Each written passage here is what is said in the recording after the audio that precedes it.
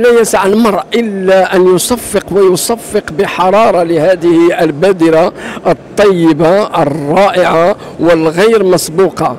يعني فنحن آه هذه السنة آه في موسم 2017 2018 آه نشعر أننا نعيش أزهى أيام وفترات المسرح المغربي وأعم أقول منذ فجر الاستقلال إلى الآن.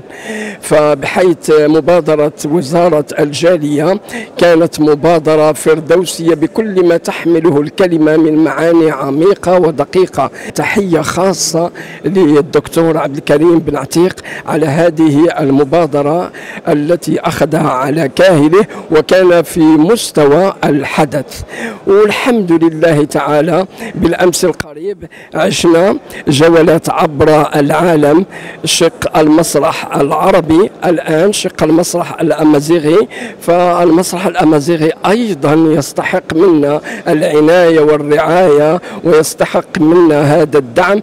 فالحمد لله واللطف لله. نحن نعيش وأقولها بمنتهى الصراحة. أزهى أيام فترات المسرح المغربي ولم يعد المسرح الأب المغبون بل فعلا أب الفنون في هذه الفترة. بفضل الله تعالى ثم بفضل وزارة الجالية. وتضافر الجهود أيضا مع وزارة الثقافة. تحياتي.